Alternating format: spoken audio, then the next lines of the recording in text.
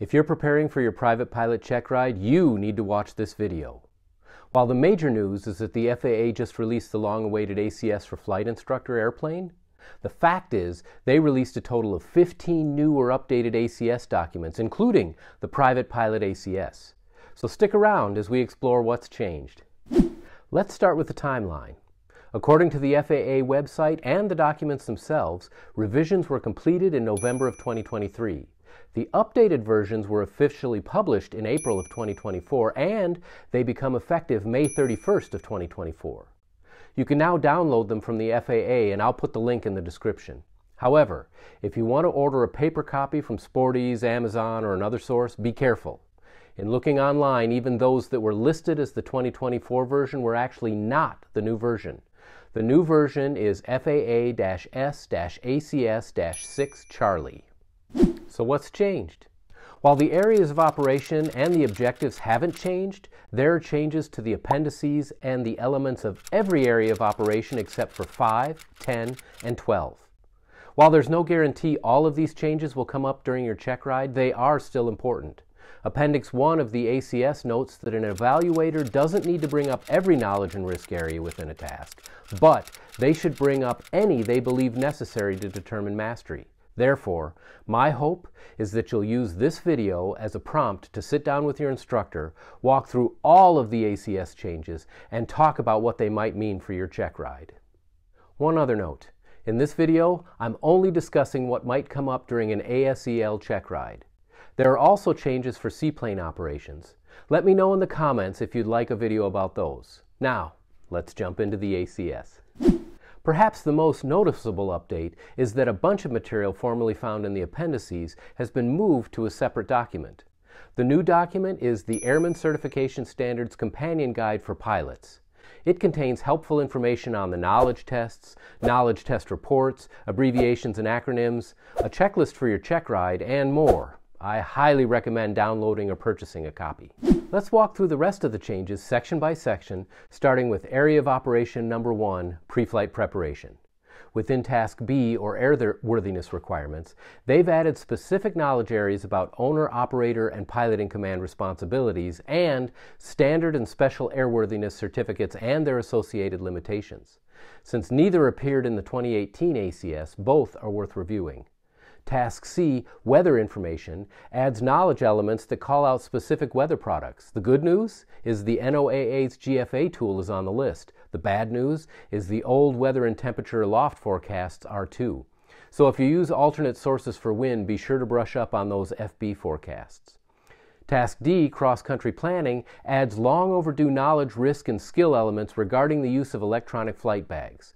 The language indicates you can still plan by hand, but the new elements mean electronic flight planning is officially acceptable. Just be ready to explain where you got your performance numbers and how you can ensure their accuracy.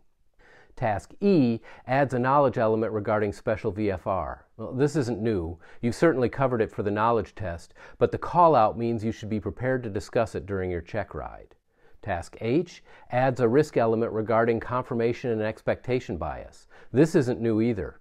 In the 2018 version, confirmation and expectation bias were called out in several places. What is new is that they've been called out in the human factors task. So be prepared for a larger discussion on what these are and the risks associated with them. Area of Operation 2 also has several changes we'll want to take a look at. Task A specifically calls out the need to demonstrate your self assessment and to continue to assess the environment as your flight goes along. So make sure your assessments aren't just one and done. Task B has a couple of new elements. There's a new knowledge element regarding securing items and cargo. This is in addition to the existing skill element. There's also a new skill element about ADM and use of SRM and CRM, as well as a risk element about managing passenger distractions. These were all implied before, but now they're specifically called out. Task C adds a knowledge element about when and how to abort an engine start. Tasks D and E add risk elements associated to runway incursions as well as confirmation and expectation bias. Based on the increased instances of runway incursions in the last couple of years, these aren't a surprise. With incursions being an FAA focus area, be prepared to discuss them.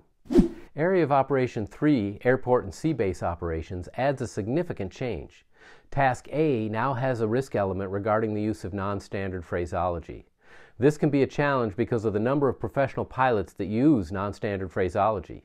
I can't tell you the number of times I've heard, but that professional pilot said it. As noted earlier, there's an added emphasis on runway incursions. Area of Operation 4 continues that trend. However, the most interesting addition is the added risk element of managing a go around or rejected landing after accepting a land and hold short clearance. Because students aren't allowed to accept land and hold short clearances, this is something you'll definitely want to discuss with your instructor. Area of Operation 6 has several small updates. Task A includes a new risk element on unplanned power and fuel consumption. Task B introduces a risk element regarding the use of electronic flight books for navigation and radar systems. Task C and D add skill elements to remind pilots to select a course of action and then promptly put it into action. All of these, except for the electronic flight book, were implied before, but are now specifically called out. The only modifications to Area of Operation 7 are a focus on SRM and CRM during power on and power off stalls. There are several revisions to Area of Operation 8. Most discuss mitigating the risks of fixation and omission, instrument interpretation, and control applications solely by reference to instruments. These aren't new, but rather a rewording of existing risks. One thing I believe is very valuable is the addition of risk elements regarding trimming the aircraft. Pilots should make sure they aren't using trim to fly the airplane, but I'm finding that many private pilot candidates don't use enough trim. Instead, they rely on muscling the aircraft, which often leads to loss of attitude when working radios, writing clearances, or anything else that momentarily takes their attention away from the scan and control manipulation. This element is definitely worth discussion with your instructor. Another valuable change is the increased detail related to unusual attitude recognition and appropriate recovery. But key changes are the added elements regarding returning to VMC and the use of automation to assist when available. These were not called out in previous ACS versions. But the entire purpose of practicing flight by reference to instruments as a private pilot is to prepare for accidental VMC into IMC, and therefore, I believe these additions are crucial. There are several small updates to Area of Operation 9. Task A includes a knowledge area about aircraft performance and limitations, and skill areas about making radio calls and use of SRM or CRM. Task C has new risk areas regarding undesired aircraft state and startle response. But the most notable change is the addition of elements related to airframe parachutes and autoland. If your aircraft has these extra tools, be sure to plan how you're going to respond to questions about them. The changes to Area of Operation 11, night operations, are an increased focus on night taxiing, the need to demonstrate relative aircraft position based only on position lights, and visual illusions at night. Further, there were risk elements added regarding runway incursions, night currency versus proficiency, night weather, and inoperative equipment at night. So, there you go. A comprehensive review of the ASEL changes to the ACS guide. While many of the changes are small, there are several that could cause issues if you haven't reviewed or prepared for them. So, grab a copy of the new ACS, schedule time with your instructor, and discuss what these changes might mean for you and your check ride. If this video was helpful, please hit the thumbs up and consider subscribing. Second, please consider sending a tip using Buy Me a Coffee. The link is in the description, and even a small amount helps support these videos.